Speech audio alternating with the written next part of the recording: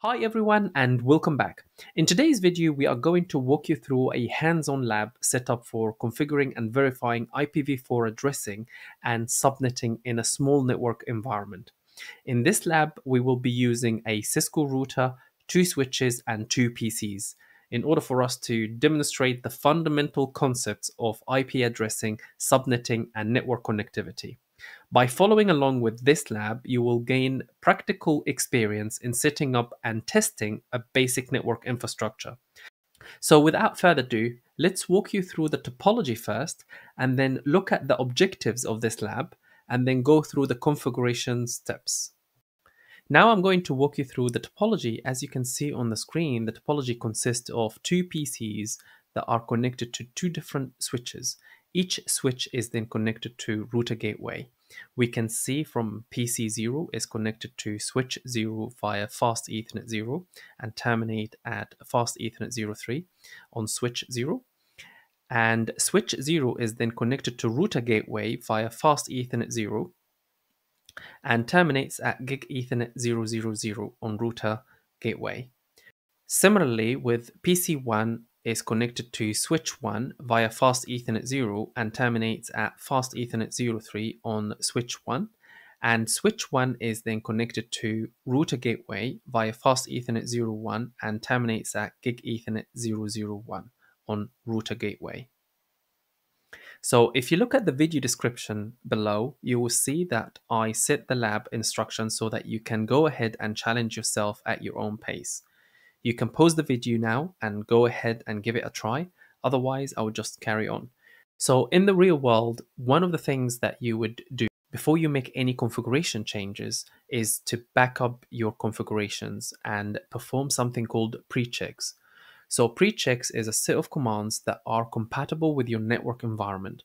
This helps you to check the hardware components as well as the software components and ensures that the network is healthy and is ready for config changes. You then perform the changes, and in the meantime, you do something called in flight checks, where you check the configurations that have been taken successfully. Then, once you have completed with the network configuration changes, you then perform something called post checks. Post checks, pretty much similar to pre checks, is just after the change. So what I would do first is I will go to router gateway CLI and start making some changes. So what I would do, I'll click on that router and I'll go to CLI. I will hit enter and then I will go to enable mode where I would enter privilege execution mode. And then from there, I'll go to global configuration mode by entering configure terminal And from there, the first thing that I will do, I will change the host name from router to router underscore gateway. And then I will hit enter.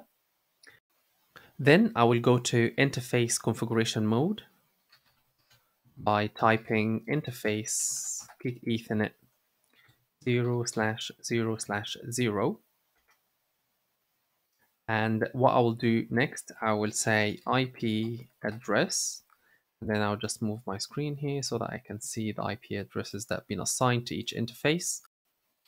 192.168.0.1 and the subnet mask is going to be 255.255.255.0 and what I will do, I will say no shut down. That will enable the interface. And then I will say exit to exit out of the interface configuration mode. And now I'm in global configuration mode. And then what I'll do, I will go to interface ethernet 0 slash 0 slash 1. And I will say IP address 92.168.1.1. And that is going to be slash 24, which is 255.255.255.0 and then I will say no shutdown as well or no shut. So at this point, I have configured both interfaces with the corresponding IP addresses that has been assigned. And what I will do, I will verify this by saying show IP interface brief. And if I expand this, you can see that gig ethernet 000 is assigned with this IP address and the state is up and the protocol is up. Similarly with gig ethernet 001, 192.168.1.1, the status is up and the protocol is up. So now that I have configured the router, what I will do, I will actually save the configuration by issuing copy running config startup.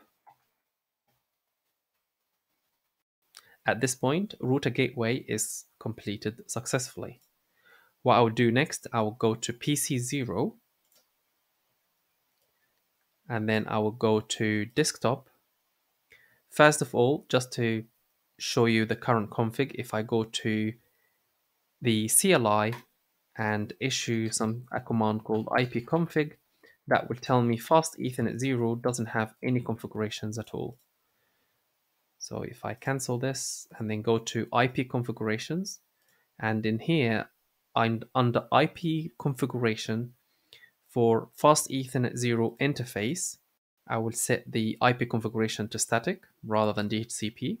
And then in here, I would say 192.168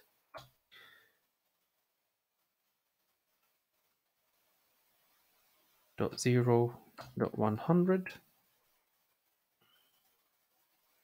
and the subnet mask is going to be slash 24 and the gateway is going to be 192.168.0.1 so now what I'll do I'll cancel this. I'll go back to my command prompt the CLI and I will issue the same command and you can see that the changes have been taken successfully. So what I will do now I will try to ping the default gateway, which is 192, or I would say ping 192.168.0.1. And you can see that I'm able to ping successfully the gateway. So PC0 is being able to ping the gateway, which is 000, or the gateway interface, which is gig Ethernet 000. And that is being done successfully. Now, if I try to ping the other computer, 192.168.0, sorry, 1, 100, you can see that the ping will fail because I haven't configured the PC one yet.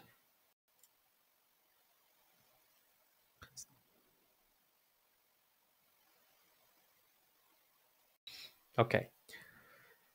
So what I will do, I will close PC0 and then I'll go to PC1 and then PC1 I will go to desktop and I will do the same thing. I will say ipconfig. You can see that has no IP configurations on it. So I'll cancel this. I'll go to IP configurations and in here I would say 192.168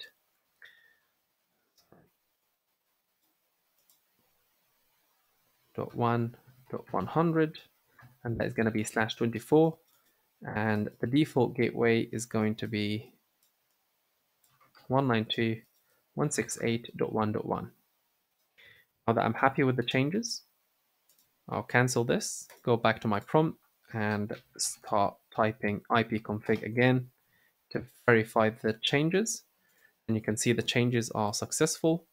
And now what I'll do I will ping the default gateway, which is 192.168.1.1. And you can see that the ping is successful and we are receiving an echo message reply.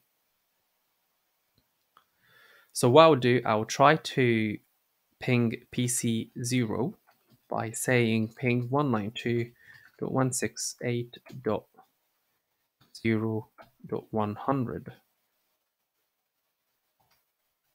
And you can see that the ping this time is successful. If I were to use a trace route,